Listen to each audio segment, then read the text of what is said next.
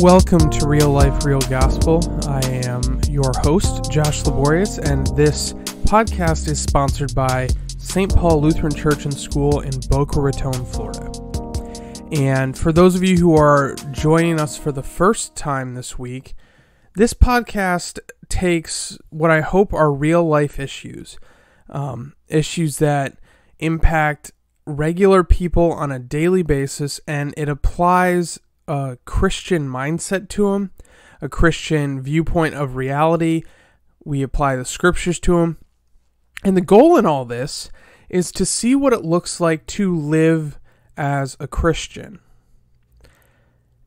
In an effort to keep in touch with reality and well grounded, I do my best to minimize the theological language I use, the, I guess, academic philosophical language I use, Although I will occasionally use some theological terminology if I think it is particularly helpful. And in those moments, I do try to step out and, and define and explain that terminology. Because the goal of all of this is to be relatable to reality.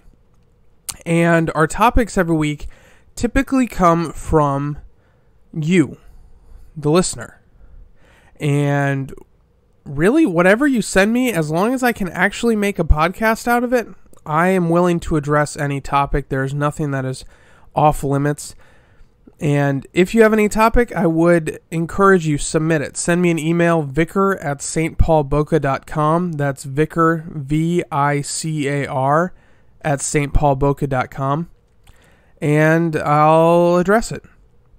So, with that, moving into our topic for this week, we are discussing physical fitness, which is this is the first time in now 17 episodes, but this topic is from me.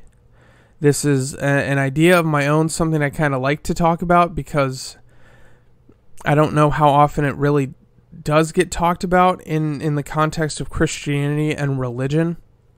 And it's physical fitness. Now, this is not going to be a regular occurrence where I submit my own topics, but I had the opportunity to, so I've stepped in with that. And this is a topic that I actually think is really a, a good one to talk about right now. It's really appropriate right now because a lot of us have some extra time on our hands as a result of the quarantine. And it's important to keep in mind, especially now, because I think there is a temptation, a tendency for us to kind of let it go. Those of us who had gym memberships, gyms are not open anymore. Um, and all kind of naturally occurring exercise, or not all, but a lot of naturally occurring exercise has stopped because we're stuck at home. So, for those reasons, I think it's important to kind of have this in front of us and actually be conscious of it but then also, there's this reality that physical fitness can help with our our health, maintaining good health, and also recovery when you get ill. If you are physically fit, you are more likely to make a, a good or speedy recovery than if you are not in good physical condition, which is kind of a duh thing, but I think it's worth saying. So that's kind of the topic we're going to get at, and I think it's good that we're getting at it now. And with that, this is real fitness, real gospel. And the scripture that I want to start off with and kind of ground us in does come from the Old Testament, as my first passage usually does. And it's Psalm 139. And I'm going to be reading verses 13 through 16.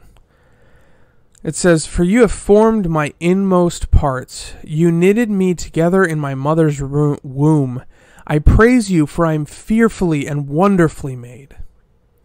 Wonderful are your works, my soul knows it very well. My frame was not hidden from you when I was being made in secret, intricately woven in the depths of the earth. Your eyes saw my unformed substance. In your book were written, every one of them, the days that were formed for me, when as yet there was none of them. So that is Psalm 139 some textual notes just to explain where I'm getting this from and maybe some of the context of it. This is taken from within a psalm. This is obviously this is four verses of an entire psalm. And the rest of the psalm is praising God. And it's kind of going through different elements of creation of this world that God has put in front of us and around us. And it's praising Him for that. And it's including the human body, the human person, as part of that. And part of the glory of God is in His creation. So we, as part of His creation, are part of what gives glory to God. So, what can we take away from this? Well, there's this reality that we are God's creation. Just like the the trees and the earth and the water and the sky and animals and everything else. Like we're part of creation. So my my question for you, my challenge for you is to think about taking care of our bodies in the same way that we we think about being called to take care of creation. We're we're called to take care of our our resources and the things around us and be good stewards of that which God has given us. And I don't know why we think about our bodies any differently than that. I mean, and it's clear here God cares about our physical bodies. He designed them. He built them. He knit us together. Um, and at this point, I have a little bit of a tangent for us on this tendency to split body and spirit. And I, I know if you're listening and you're like a philosophy person, there's like a name for it and there's a philosophy for it where all things that are physical are bad, but then all things that are spiritual are good. So we're trying to get more spiritual and less physical. And I'm I'm aware of that. That's not the language I'm going to use, but there's this tendency in our speech in our discussions to call the spirit good and the body bad and some of the language that's used around death actually I think reflects this in that we say that you know they've left their body behind they're just kind of a spirit now, and that's much better. And we split the two, and we think that after we die, we just kind of become floating spirit ghost things. I mean, it's a little bit of an exaggeration, but Casper the Friendly Ghost is kind of a crude manifestation of what we think happens when we die. But body and spirit are not distinct. We're created as one whole person. God didn't just find an imperfect vessel and put a, a perfect spirit into it. No, He made us each as people. So, I think when we talk about the spirit and the body as completely separate, no, they're they're part of one person. We're we're called to take care of both spirit and body. Um, and when when you get to talk about the new creation, we're it's talking about giving us new bodies, perfect bodies just like our our our minds and our spirits are being renewed. So that's a little bit of a tangent, but I think there is a tendency to split body and spirit and call body bad and spirit good and I want to push back against that little because God created us as as people. Body, mind, spirit, everything. All in one and it's all part of what God created us each to be. Which brings us into this question of stewardship. And we are, I'm going to limit this conversation to the stewardship of our bodies because if we're just going to talk about stewardship, that could be a whole nother podcast. In fact, that could probably be a couple different podcasts. But when it comes to our bodies, uh, taking care of them, I, I think this, a big part of this is preventative maintenance. And I want to compare us to cars. If you have a car and if you're listening to this and you've never had to take care of a car, I'm gonna I'm gonna drop some knowledge on you about cars. There are certain things that you have to do on a regular basis to keep your car running like it should. For example, oil change. You need regular oil changes. You have to get your tires rotated frequently. Uh, there are uh, other fluids depending on your car, the make and model, that you may have to fill and and top off and replace from time to time. Um, every once in a while, you have to re- repair a belt. And these things aren't repairs in that something happened wrong. It's just the passage of time. You, you run out or things wear out and you need to update them, you need to make them stronger and, and renew them to keep your car running. For example, if you don't change the oil in your car, eventually your engine is going to seize up like a rock. If you don't rotate the tires uh, on some sort of regular basis, they're going to wear out unevenly and I mean, best case scenario, you're just gonna have to replace your tires in a weird order. But worst case scenario, it can it can throw off the alignment of your entire vehicle. Um, if you don't take care of the belt before it actually snaps, your car is just gonna stop working until you get a brand new belt put in. So, and we understand this when it comes to machines, when it comes to cars especially, we have to take care of them or they'll stop working. And I would say our body is actually very similar. We have to take care of it. We have to kind of preventatively take care of it, or it's going to stop working. You have to give it the fuel it needs. You have to stretch and and do exercise and keep your heart working and your lungs working. And if if you take care of this quote unquote preventative maintenance, what it actually does is it prevents bigger problems down the line. And all of this comes down this discussion of stewardship of our bodies. We're taking care of our gifts from God. We're, we're doing the right things for them so that they last and so that they hold up and they don't break down. So the application here is that we ought to be taking care of our bodies. And what what does that look like? Um, I'm going to kind of tailor this toward a lot of the things I've heard and seen about people being in quarantine. Um, and the first is eat the right food, which I actually think is easier right now because as a society, we are eating out less. And I know most restaurants you go to, you can get healthy food. Yes, it is possible. Um, but just the, the sugar and the fat content in in food that comes from restaurants does tend to be higher than food you make yourself. And I'm not advocating a magic diet here, but when it comes to eating the right food, just make sure you're eating fruits and vegetables and lean meats and fish. And there's variety in, in your diet. I, I'm not a dietitian, I'm not an expert at this, but this advice has been the same for years, for decades. Just eat a variety of foods and avoid the ones that are not good for you. I mean, most of us know what those are. So that's, I guess, uh, a note, not a super specific note, but a note on diet. And then we have exercise. And this is one I'm a little bit more familiar with. I was for a year, I think it was a year, certified as a personal trainer. I didn't allow that certification to lapse because it cost money to re, I guess, reinstate it, reapply it. And my wife has a degree in exercise science. So this is something I'm a little more familiar with. And you say, well, we don't have gyms. Well, there's something called the outdoors, and you can run. And it's I'm presuming almost everywhere because it's it's available here. Exercise outdoors has not been is is not I guess part of the stay-at-home orders.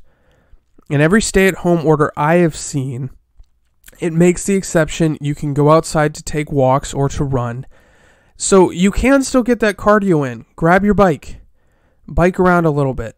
Take a jog, take a run, take a walk, whatever is within your wheelhouse what within your physical capabilities get that cardio exercise in. And as far as strength yeah you may not have availability of weight training uh, but you can still do body weight. You can you can exercise every muscle in your body just using your body you, have push-ups you have tricep dips you have you can do calf raises you can do squats you can do um, all sorts of you can do uh, crunches and sit ups and oblique side to sides. I, I forget what the exercise is actually called. You can work every muscle in your body just with the space in, in your living room. Um, so do that. Make it a part of your habit to just exercise a little bit every day. Um, and then the last health point I have as far as taking care of our bodies uh, you have eating right, you have exercise on some sort of regular basis, is alcohol. And this because I've seen a lot of posts about it uh, in regard to the quarantine. Um, don't drink it in excess. I mean, for if you need no other reason than drunkenness is we're commanded to to be above that in the Bible. We are we are told don't don't get drunk. That's when it talks about debauchery, that is what that means. So there is that, but then there's also this very practical side of alcohol is pretty hard on your body as far as what it does to your organs and things, especially if you drink it in excess. I'm not saying don't drink at all, but don't go crazy with it. And also, f- fun fact for those of you who don't know, alcohol has a ton of calories. It is incredibly calorically dense. There's a lot of energy in alcohol. One of the obstacle course races that I that I run, they're called Spartan races. They give you a beer at the end of the race because it is an excellent recovery drink because it has a ton of calories and carbohydrates in it. When you're drinking beer, it, you're drinking liquid bread is what you're doing. Like it's it's wheat. So keep that in mind. Like if you have, say, four beers, five beers, you've probably just drank more calories than you ate with a typical dinner. If you're looking to stay in shape or get in shape over this quarantine, alcohol is probably something you should limit. So there's uh, are just some application notes for this. So to to kind of bring it all together, the reality of this uh, lesson we get from Psalms is that we are challenged and called to take care of our bodies to glorify God. We are part of God's creation. We are called to take care of that. And now is a great time to practice this.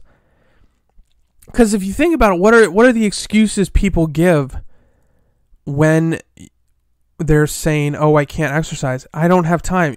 You have nothing but time now. Uh I don't have the space. I don't have the energy. Like what else are you, what else is occupying your space and energy? Like if not now, when? When if if you're not going to take advantage of this time that we've been given now, like when are you going to have the time or the energy or the or the freedom to do this, to exercise, to prioritize your health? Um and that's the rea- that's just the reality of the situation. You may disagree with me, but I, I don't know if there's a whole lot of legitimate room for that. Not to sound arrogant, but it is what it is. And then the, the real gospel that's part of this is that we are fearfully and wonderfully made, and God does care about our bodies. Which I think is really comforting, especially when we're suffering with illness or injury or something like that. And it, it's nice to remember that God cares about what happens to our bodies. So, um, with that, we are going to drive into the gospel reading that I have for us today that comes from Matthew 6. Starting at verse 19, it says, Do not lay up treasures for yourself on earth, where moth and rust destroy and where thieves break in and steal. But lay up treasures for yourself in heaven, where neither moth nor rust destroys, and where thieves don't break in and steal. For where your treasure is, there your heart will be also. The eye is the lamp of the body. So if your eye is healthy, your whole body will be full of light. But if your eye is bad, your whole body will be full of darkness. If then the light in you is darkness, how great is the darkness? So, textual notes on this this is part of Jesus' Sermon on the Mount. It's a series of lessons he put forward before his disciples. And you may say, well, this is kind of a weird passage to talk about physical fitness. But the reason that I'm talking about this is I, I want to stress this don't make an idol of the body. Like, I'm talking about it, it is important to take care of your body, to eat the right things, to exercise in appropriate levels, um, and all these kinds of things. But you can go too far the other direction too. There are people who make idols of their body, and the reality is it, it will fade away. Like when we're dead, Our, our bodies are eaten by bacteria and worms and other critters if, if you're just buried and like your, your body fades to dust. That's how decomposition works. So it is one of these, it, it, it's a treasure on earth. And we're called to take care of the, the resources and the treasures that we've been given on earth, but it shouldn't necessarily where, be where our first priority is.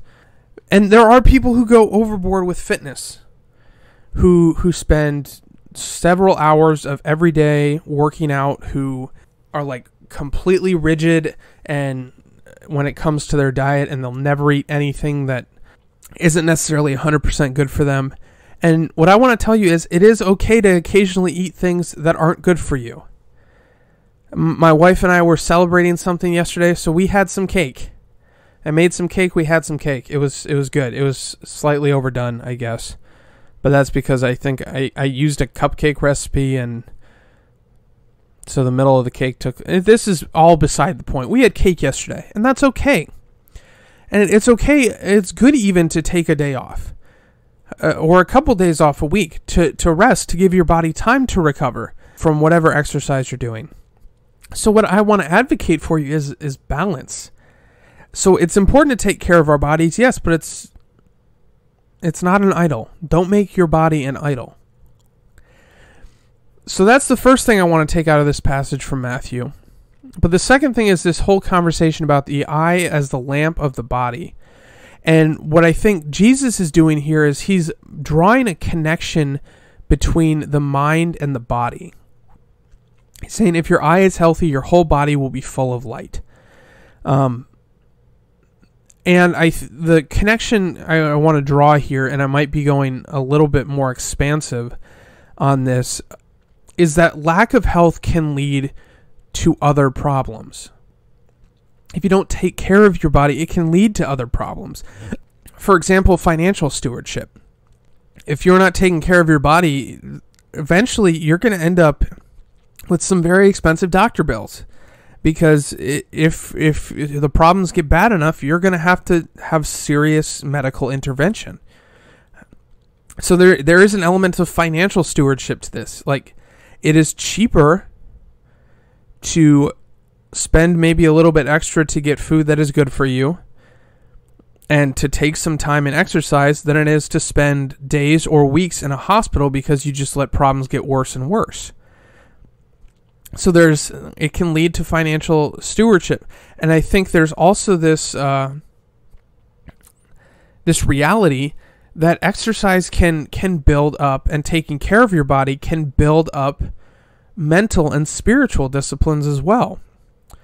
For example with exercise it can definitely improve self-discipline. It can be a, a venue a medium with which to practice your self-discipline. Uh, it can provide a time to unwind, to release aggression that you would otherwise release on people. It can help with your mental health. And just some, a couple examples of that from my personal life. In case you have never met me in person and never heard me talk about running, I hate running. Like, it is something I actively do not enjoy doing. I am not built to run. That is not what my body type is meant to do. I am not good at it, and I don't enjoy doing things that I'm not good at. So, I, I still run three times a week. And you may ask, well, why do you do that? Well, first of all, it's good for me, and I do need the cardio exercise. But there's also this reality that I am forcing myself to do something I don't want to do on a regular basis, on a regimented basis. And it helps improve my, my general self discipline capabilities. It's practicing self discipline. And another example is exercise as far as a release for stress or anger. And I'm going to take an example of my undergrad experience. I, at one point, lived in an apartment where my roommates were both dating people and they would do their their thing they would have their girlfriends over and they would they would just be hanging out but they'd be watching like chick flicks or something and for a single guy who prefers to use his TV to do things like play Halo and Destiny um, that was frustrating for me But instead of being mean or rude, at least most of the time, I hope, and allowing that to, to harm my relationships, to treat them like I shouldn't, I just went to the gym and I lifted weights. And by the time I was coming home, I felt great. I felt at peace. I felt happy. I was ready to go. So, and if my either of my old roommates are listening to this, um, yes, that is why I spent so much time at the gym. Um, kind of kidding, kind of not. Anyway, so I think there's some very practical applications where exercise and taking care of our physical bodies can help with our virtues, with our mental and spiritual, uh, I guess, virtues, to be a little repetitive. So, the reality here that I'm trying to draw out from Matthew is that there is a connection between our body, mind, and spirit. And how we treat and take care of our bodies can definitely impact our mind and spirit. And there's also this reality that our lack of, of a lack of physical health can lead to other problems. And they can be farther reaching than just physical problems. But the gospel, the good news I have for you here is that this is something we can work with. And a promise to you is the longer you do it, the longer you take care of your body, the easier it actually gets. And I guess the real gospel here is that just like in everything else, when we fall short, God still loves us. And that's awesome. So, our, our last reading for the day is a pretty quick, short one. It's from 1 Corinthians 3, just verse 16 and 17. It says, Do you not know that you are God's temple and that God's Spirit dwells in you? If anyone destroys God's temple, God will destroy him, for God's temple is holy, and you are that temple. This is speaking of the Spirit being in us. And in sense of fair play, this text, this letter from Paul, is speaking primarily in the context of sexual immorality. But my application here is that we we are God's temple. We are, uh, I guess, a housing for the Holy Spirit. And as such, we are witnesses to God. So we ought to be giving him a good witness. It's the same reason I th- like we take care of our church buildings. We we devote resources and time to making sure the building looks nice and it's well maintained and it's taken care of. And we do that to kind of give a good witness that we're taking care of the things God has given us. So that is what I want to take from this is that we we are God's temple. The Spirit dwells in us, so we should do our best to be a good witness of that. And one other, I guess, reflection that I have on this is this reality that being physically fit prepares us to do tasks that are put in front of us. So it, it can also serve as this preparation for whatever missions God has in front of us to to be ready to take on those missions even if they might be physically demanding for whatever reason. So, um, that is my application of this verse, and kind of in closing, what I want to do is I want to just give some some very simple exercise and food recommendations based on my expertise, uh, as limited or extensive as it might be. So, my exercise recommendation for you fundamentally is this do something. Walk, run, do body weight exercises, get your step count in for those of you who have either a fitness tracker or your phone has a step counter. Make the effort to get your step count in on a daily basis. Like, go make a conscious effort to exercise every day, especially in situations where you might be sitting at home all day and you're not getting kind of that natural exercise just worked into your day. So that's as simple as my exercise recommendation is for you in this time when we don't have gyms to go to and when we're in quarantine. It's just make the conscious effort and do something. Now, my food recommendations for you are, I guess, a little more complicated, or I guess at least a little more demanding. Don't eat things you didn't make, whether that be junk food or whatever so this this would encourage you to eat things like veggies and fruit and lean meat and fish. And if you want to make a snack, make the snack yourself. And that's kind of the advice I have for you. And obviously, I, I told you before, I have less expertise with the diet thing.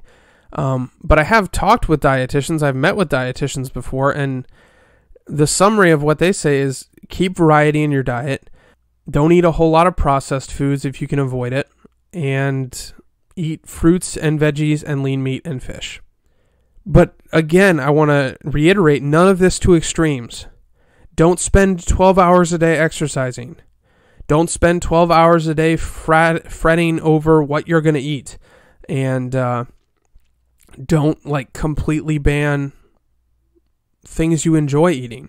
Like if you like ice cream, sure, have a little bit of ice cream at night. Like that's that's fine. Just as a treat, not as a part of a major part of your diet. Um, so the closing reality I have for us is that God lives in us, and we are a reflection of God. Um, and whether or not perceptions based on our physical appearance are accurate, it's something we have to deal with and contend with. So it's something worth keeping in mind as we do our best to reflect the Spirit that lives in us. But the gospel, the joy here that I want to close on is that the Spirit dwells in us. We, we are God's people. And that is regardless of how nice we keep the quote unquote house. The Spirit still dwells in us. God is still with us. God loves us and forgives us, and He always will. So, brothers and sisters, this has been episode 17 of Real Life, Real Gospel, Real Gos- uh, Real Fitness, Real Gospel. I hope it was helpful to you. If you have any questions or comments, please reach out to me, whether that be in the comments or uh, via email. Again, that email is vicar at stpaulboca.com, V I C A R at stpaulboca.com, S T P A U L B O C A.com. And if you are if you especially if this is your first time but maybe this is you've listened to a couple podcasts if this is something that has been helpful to you um, give us a like subscribe to whether if if you're watching this on youtube subscribe in the in the lower right hand corner of the the viewing screen right underneath that there's a subscribe button. Go ahead and click subscribe. If you are watching us on Spotify or or listening to us on Spotify or Podbean or Apple Podcasts or iTunes go ahead and subscribe and let us know that it's helpful so we can kind of be encouraged in that way. So with that I've been Josh Laborious, your host, and I hope to talk to you next week. Go in peace serve the Lord. Thanks be to God.